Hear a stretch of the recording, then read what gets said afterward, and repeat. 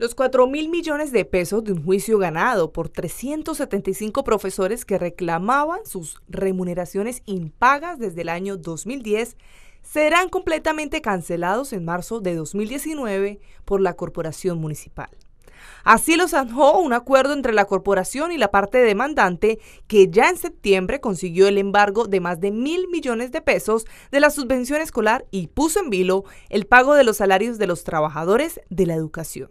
La verdad es que porque creo que, ¿por qué no se hizo antes? No podría, yo no soy, no soy el indicado, creo yo, para resolverlo eh, y para dar una respuesta.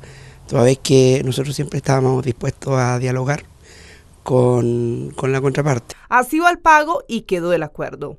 1.109 millones que ya fueron embargados por el tribunal para pagar parte de la deuda. El 30 de noviembre la corporación pagará otros mil millones. El 31 de enero de 2019 otra suma similar y en marzo los 990 millones y fracción pendientes. La pregunta es, ¿con qué dinero se pagará? El secretario general de la corporación municipal se negó a hablar del tema, dijo que no quería hacerle daño al sistema.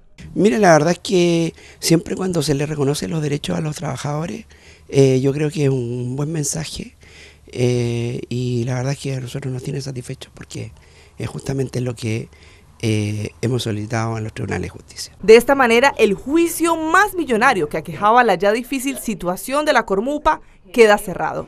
Eso sí, como todo tiene cláusula, en caso de no cumplir con el acuerdo, el tribunal podrá pedir el cumplimiento forzado del mismo y también aumentar la deuda en un 150%.